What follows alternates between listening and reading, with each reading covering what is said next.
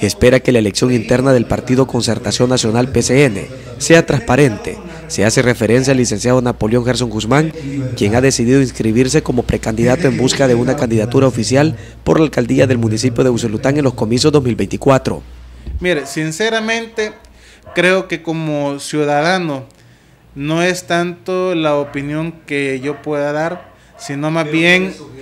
sino más bien, ya te explico, sino más bien que se cumpla la ley, porque eso es lo principal. Ya nuestro marco legal, nuestro marco constitucional habla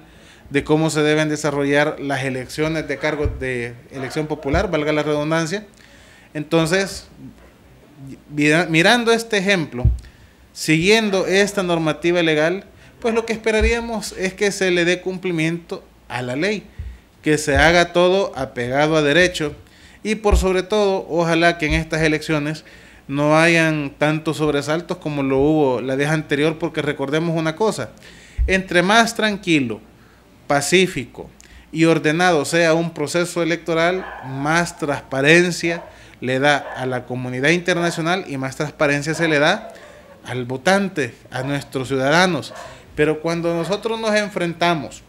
y estamos en ese estira y encoge y caemos en, en un revanchismo político, en, ese, en esa guerra desmedida entre los partidos, le quitamos legitimidad y mandamos un mal mensaje. Las personas tienen que participar más en las decisiones políticas del país, de la sociedad. Nosotros tenemos en nuestro entorno algo que a veces la gente dice, que es eh, yo de eso no como, si no trabajo no como, pero las decisiones políticas de un gobierno central, de un diputado o de un consejo municipal, quieras o no, tienen repercusiones directas en la vida familiar, social e individual de la persona. ¿Le parece bien al profesional que en una contienda electoral siempre participe en diversidad de partidos políticos y que eso permita que los ciudadanos voten a favor del que consideran conveniente? Recordemos que en nuestro país, casi tradicionalmente para cada elección,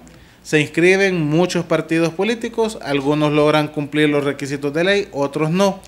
Entonces, eso es normal. Y cuando existe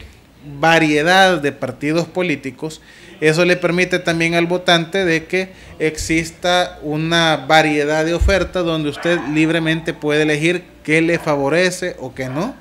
o cuál es la propuesta más atractiva según su pensamiento o su o su ideología política si la tuviera, o algo que ha pesado mucho, o creo que tiene que pesar mucho, que hoy por hoy, pues el llamado también para el ciudadano, no solamente ver el partido, también hay que valorar las propuestas de las personas, el perfil del funcionario que usted quiere que gobierne su municipio, su departamento, su país. Se siente contento también porque espera que en los comicios venideros se emitirá el sufragio no por bandera política, sino por la persona, y eso de una u otra manera es lo que va a sopesar durante ese evento que se va a vivir a nivel de país. Con imágenes de Francisco Medrano informó Eliseo Argueta.